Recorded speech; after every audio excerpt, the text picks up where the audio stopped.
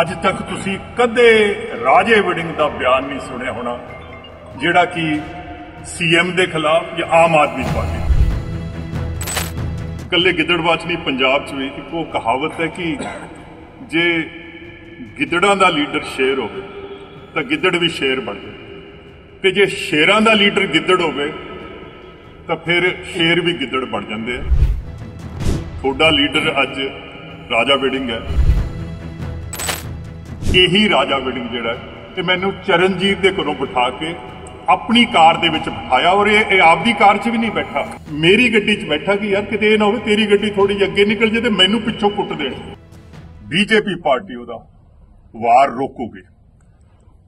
ਮੈਨੂੰ ਪਤਾ ਚੱਲਿਆ, ਮੈਂ ਇੱਥੇ ਗੈਰ ਹਾਜ਼ਰ ਸੀ ਕਿ ਇੱਥੋਂ ਦੇ ਜਿਹੜੇ ਸਾਬਕ ਐਮਐਲਏ ਹੈ, ਕਾਂਗਰਸ ਪਾਰਟੀ ਦੇ ਪ੍ਰਧਾਨ ਹੈ, ਉਹ ਮੇਰੇ ਖਿਲਾਫ ਅੱਜ ਕੋਈ ਇਹਨਾਂ ਨੇ ਕੱਟ ਕੀਤਾ ਸੀ ਬੜਾ ਅਨਾਪ ਸ਼ਨਾਪ ਬੋਲ ਕੇ ਗਏ ਹੈ। ਉਹ ਇੱਕ ਹਰਿਆਣੇ ਦੀ ਕਹਾਵਤ ਹੈ ਅਖੇ ਟੂਟੀ ਹੋਈ ਖਾਟ ਖਾਟ ਮੰਜੇ ਨੂੰ ਕਹਿੰਦੇ ਅਖੇ ਟੂਟੀ ਹੋਈ ਖਾਟ ਔਰ ਝੁਕਾ ਹੁਆ ਜਾਟ ਇਹ ਕਿਸੇ ਕੰਮ ਕੇ ਨਹੀਂ ਹੁੰਦੇ ਜਿਹੜਾ ਜੱਟ ਝੁਕ ਜੇ ਨਾ ਉਹ ਕਿਸੇ ਕੰਮ ਦਾ ਨਹੀਂ ਹੁੰਦਾ। ਇਹ ਜਿਹੜੇ ਕਾਂਗਰਸ ਦਾ ਪ੍ਰਧਾਨ ਹੈ ਤੁਸੀਂ ਕਿਤੇ ਅਸੈਂਬਲੀ 'ਚ ਦੇਖਿਆ ਹੋਵੇ ਜਦੋਂ ਸੀਐਮ ਸਾਹਿਬ ਇਹਨੂੰ ਘੁਰਕੀ ਵੱਟਦੇ ਆ, ਇਹਦਾ ਖੂਨ ਸਫੈਦ ਹੋ ਜਾਂਦਾ। ਅੱਜ ਤੱਕ ਤੁਸੀਂ ਕਦੇ ਰਾਜੇ ਵਿਡਿੰਗ ਦਾ ਬਿਆਨ ਨਹੀਂ ਸੁਣਿਆ ਹੋਣਾ, ਜਿਹੜਾ ਕਿ ਸੀਐਮ ਦੇ ਖਿਲਾਫ ਜਾਂ ਆਮ ਆਦਮੀ ਪਾਰਟੀ ਇਹ ਕੰਮ ਆਊਟਸੋਰਸ ਜਿਹੜਾ ਹੈ, ਇਹ ਬਾਜਵਾ ਸਾਹਿਬ ਤੇ ਜਿਹੜੇ ਹੋਰ ਲੀਡਰ ਹੈ, ਕੋਈ ਖੈਰਾ ਸਾਹਿਬ ਵਰਗੇ ਜਾਂ ਸੁਖਜਿੰਦਰ ਰੰਦਾਵਾ ਇਹ ਉਹਨਾਂ ਵਾਸਤੇ ਕੀਤਾ ਹੋਇਆ। ਰਾਤ ਨੂੰ ਅਖੇ ਉੱਪਰ ਸੇ ਲੜਾਈ ਔਰ ਅੰਦਰ ਸੇ ਭਾਈ ਭਾਈ ਉੱਤੋਂ ਤਾਂ ਲੜਾਈ ਹੈ, ਪਰ ਅੰਦਰੋਂ ਇਹਨਾਂ ਦਾ ਇੱਕੋ ਹੀ ਗੱਲ ਹੈ ਵਰਨਾ ਲੀਡਰ ਆਫ ਦੀ ਆਪੋਜੀਸ਼ਨ ਦੇ ਹਲਕੇ 'ਚ 29 ਜਿਹੜੇ ਹੈ ਕਾਗਜ਼ ਰੱਦ ਹੋ ਜਾਣ।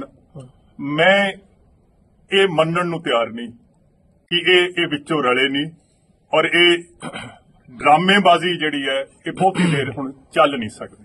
ਕਰ ਔਰ ਇਕੱਲੇ ਗਿੱਦੜਬਾਚ ਨਹੀਂ, ਪੰਜਾਬ 'ਚ ਵੀ ਇੱਕ ਕਹਾਵਤ ਹੈ ਕਿ ਜੇ ਗਿੱਦੜਾਂ ਦਾ ਲੀਡਰ ਸ਼ੇਰ ਹੋਵੇ ਤਾਂ ਗਿੱਦੜ ਵੀ ਸ਼ੇਰ ਬਣ ਜਾਂਦੇ।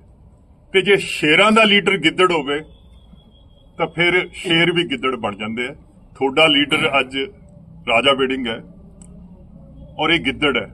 ਔਰ ਇਸ ਗੱਲ ਦੀ ਮੈਂ ਤਸਦੀਕ ਜਿਹੜੀ ਹੈ, ਗਿੱਦੜਵਾ ਹਲਕੇ ਦੇ ਲੋਕ ਕਰ ਸਕਦੇ ਮਿਊਨਿਸਪਲ ਕਮੇਟੀ ਦੇ ਜਦੋਂ ਇਲੈਕਸ਼ਨ ਸੀਗੇ, ਇਹੀ ਰਾਜਾ ਵੇਡਿੰਗ ਜਿਹੜਾ ਇਹ ਮੈਨੂੰ ਚਰਨਜੀਤ ਦੇ ਘਰੋਂ ਬਿਠਾ ਕੇ ਆਪਣੀ ਕਾਰ ਦੇ ਵਿੱਚ ਬਿਠਾਇਆ। ਔਰ ਇਹ ਆਪਦੀ ਕਾਰ 'ਚ ਵੀ ਨਹੀਂ ਬੈਠਾ। ਜਿਹੜੀਆਂ ਇੰਨੀਆਂ ਦਲੇਰੀਆਂ ਨਾ, ਦਲੇਰੀਆਂ ਤਾਂ ਜਦੋਂ ਨਾਲ ਮਤਲਬ ਹਾਲਾਤ ਤੇ, ਔਰ ਇਹ ਰਾਜਾ ਵੇਡਿੰਗ ਮੇਰੀ ਗੱਡੀ 'ਚ ਬੈਠਾ ਕਿ ਯਾਰ ਕਿਤੇ ਇਹ ਨਾ ਹੋਵੇ, ਤੇਰੀ ਗੱਡੀ ਥੋੜੀ ਜਿਹੀ ਅੱਗੇ ਨਿਕਲ ਜੇ ਤੇ ਮੈਨੂੰ ਪਿੱਛੋਂ ਕੁੱਟ ਦੇਣ।